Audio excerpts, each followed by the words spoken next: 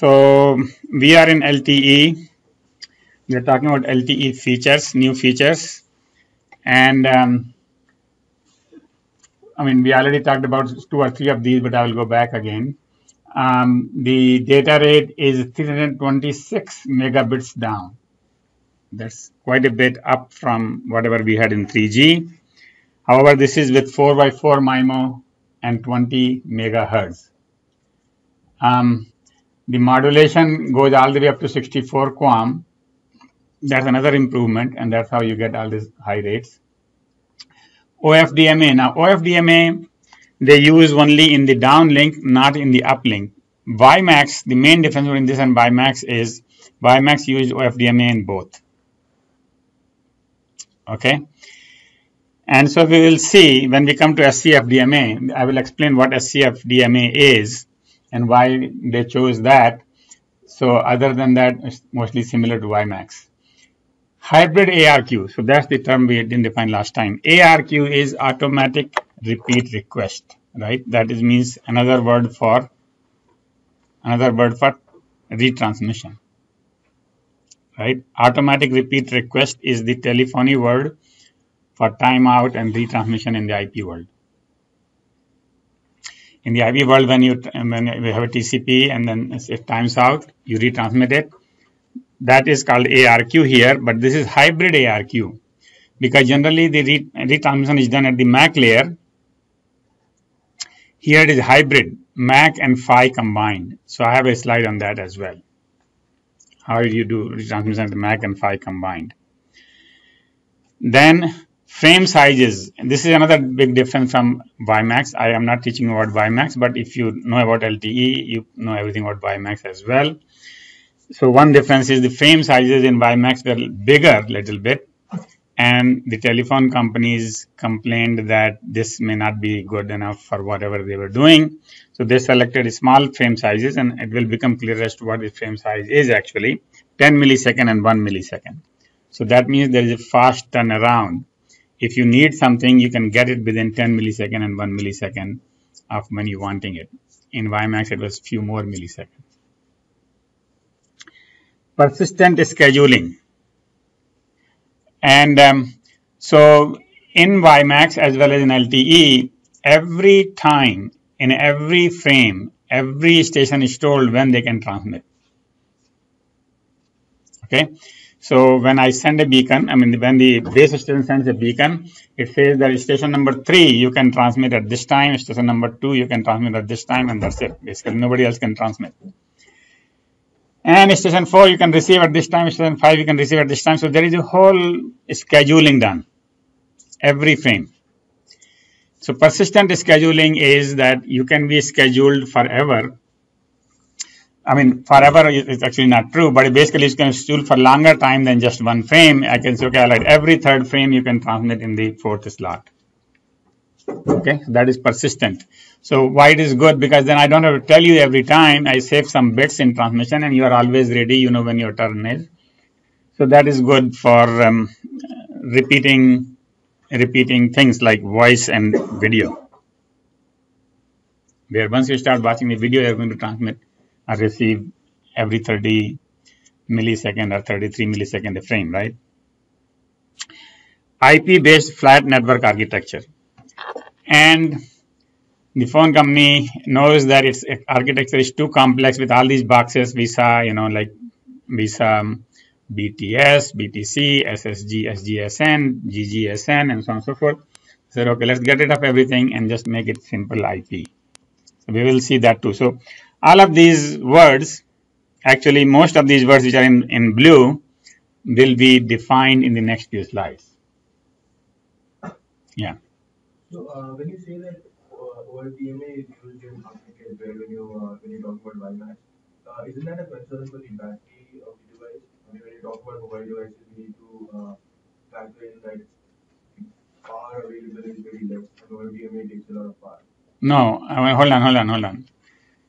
I'll hold on to the thought that OFDMA takes a lot of power. No, it doesn't take a lot of power. That is that is not the problem. Uh, why did you think that OFDMA takes a lot of power? Uh, just for the fact that uh, uh, peak to average ratio is pretty high. Okay, so that is coming up. Peak to average ratio is coming up later on in the slides. Okay, so hold on to that thought then. That peak to average doesn't mean that the power is higher. It's just slightly different. All right, so we move on to that. Actually, this right here and it will show up. So the way OFDMA works is we have explained to you in many different ways, but I have not shown you this diagram, which is important to understand how this is implemented inside. So at the base station, these bits are going to user 1, these bits are going to user 2, these bits are going to user k. Right? Each user's bit goes through a coding, FEC, forward error correction coding. All right? So that is where we add more bits so that if something happens we can correct it. After that we we do the QAM modulation. So then we decide you know whether it is 64 QAM or 16 QAM or how it will go for this user right? Every user has a different modulation then this is done serial to parallel so all these things all these symbols as we call them now are serialized, sorry, parallelized. So first one goes here, second one goes there, third one goes there, fourth one goes there, then fifth one goes there, and so on and so forth. They just, you know, they become parallel. Okay, as shown here, four in a parallel, but there might be more than four. Okay. And so all these users. Now this one, now at this point, we might have, let's say, 1024. As, let's just assume that we are using 1024 subcarriers. Right? So we don't just put these users on the 1024 one by one, we just randomize them too. So this one might go here, second stream might go there, and so on and so forth. So this is subcarrier mapper. So what that means is that these are your subcarriers, but the one that go on the air may not be in the same order. Okay, the order is randomized in some way. I mean, actually it is a fixed mapping, but basically the first carrier may go there, second carrier may go there, and third carrier and so on and so forth, right? So that way, if some noise hits some carriers, it doesn't hit the same user. All right, the noise is distributed among many different users because now the users are all over on this side. On this side, so this is actually M to M or L to L mapping, that means the number of channels coming in here, carriers coming in is exactly the same as number of carriers going out there. And so it's just different order. Inter? It is just like interleaving. In some sense, yes. Interleaving is generally used for bits in the time domain. This is in the frequency domain interleaving. Okay, I mean, in some sense, in the time domain, you take the bits from this and this guy and then mix them together. That is interleaving, right? So this is frequency domain. And these are all frequencies. And these are all frequencies coming out. Clear? All right. Then we do IFFT, L point IFFT, which basically means whatever whatever uh, number of carriers you have, that number of uh, IFFT, inverse fast Fourier transform. As a result of that, whatever comes out here, you do parallel to serial. Now you serialize it. So now this looks like one bit stream or one waveform stream, whatever that is. All right. And you add the cyclic prefix and you send it off on the air. All right. So notice that everything starts as a serial and goes out as a serial, but in between we make all these things parallel and randomize them and so on and so forth. Now when it comes back, the opposite is done, exactly opposite of this. So first thing we do is we remove the cyclic prefix, do the serial to parallel, do the FFT, instead of IFFT, we do FFT, do the demapping, we had mapped it here, do the demapping, now the bits are actually in the order of the user, so we just have to worry about one user here now. On the receiving side, we don't have to worry about user 2, 3, 4, let's say this is user 1, so it just takes the bits that belong to it. Okay. And then does the frequency equalization. This was not there on your slide. Frequency domain equalizer, FEQ.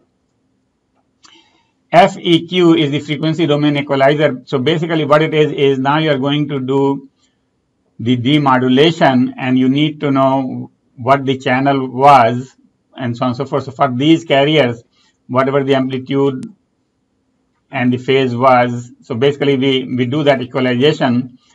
This is basically what is called channel estimate. So for each carrier, we know what the channel did to it. Okay. It reduced the amplitude by this amount. It changed the phase by this amount and so on and so forth. All that is removed. So now you have good estimate of what you have received and then you do parallel to serial. So that is the opposite of this. Parallel to serial, now you do the demodulation and you get the bits back. Okay. So this reason I have to explain, and one reason that you have to understand is that in the last time when we had this research seminar, somebody asked us to, you know, if you if you have to change your frequencies every few microseconds, don't you have to change your radio? No, nothing in the radio is changed. The radio receives all 1024 on every user on every phone. You receive all 1024 subcarriers, right? It's just that which one you have to you have to receive is in the map so you they are mapped here and they are demapped here.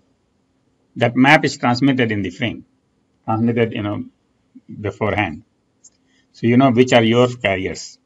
So then you use it. If your carriers change, you this map will change automatically, and there is no more extra work to be done in any way. Now what these are? These are all mathematics. This is all mathematics here. IFFT, FFT. This is all you know matrix multiplication and things like that. Okay.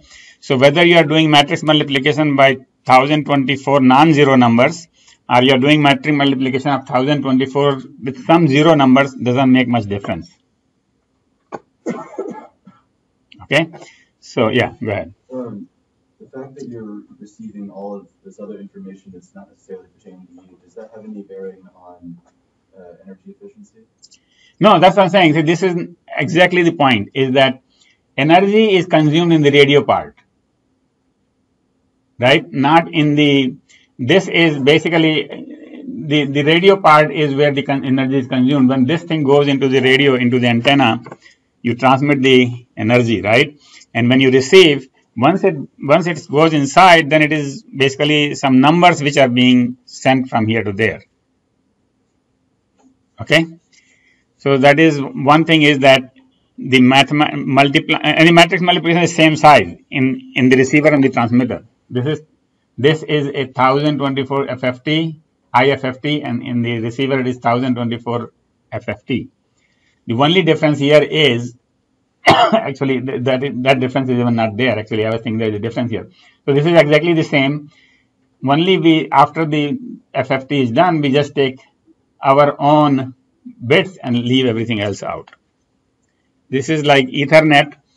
In the Ethernet, you can hear everybody's frame Okay, all the frames that are coming to the same wire, actually we don't use the wire anymore, but technically you can hear everybody's frame if connected to the same wire, but you just take your frame out and leave everybody else's out, right? Yeah, question.